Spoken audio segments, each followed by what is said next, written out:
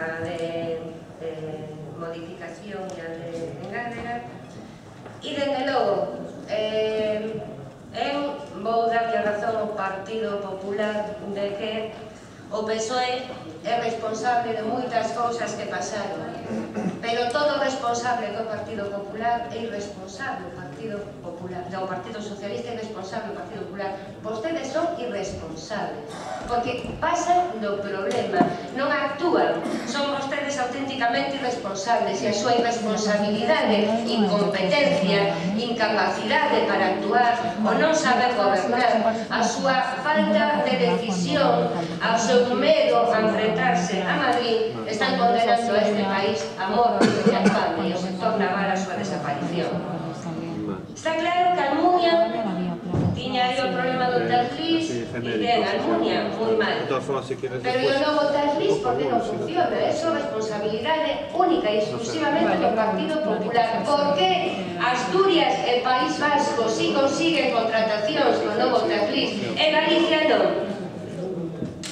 Almunia xa non será que teña un problema con Galicia, a ver se Almunia vai ter un problema con Galicia especial. Más bien parece que hai un goberno incompetente e inepto en Galicia quinta de buscar carga de traballo para os nosos asteleiros a non ser que os venda a precio de saldo que é o único que sabe facer e despois inda por riba venga que tenemos as gracias Mire, non falamos de competitividade, como non falamos de flexibilidade, porque hai palabras que mellor non pronunciar diante do Partido Popular. Nos cando falamos de competitividade, competitividade por ser os mellores, por ter máis calidade, non por ter esas condicións laborais das que falaba antes de miseria.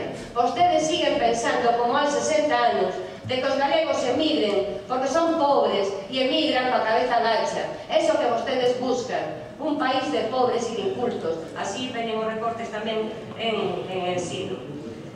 Hai que diversificar.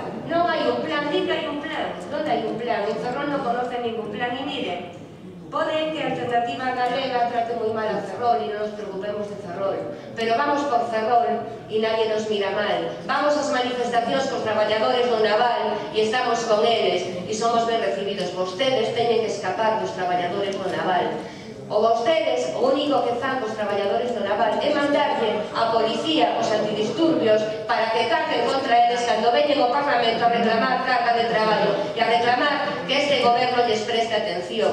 Vostedes responden como responderon sempre, con represión, non con razón. Por eso é tan difícil falar con vostedes, porque minten, non razonan, e o único que fan é reprimir aqueles que queren reclamar mellores dereitos. A súa postura, remato, se a súa postura firme do dique queda sempre patente nas votacións onde sempre votan en contra da construcción do dique de Ferrol.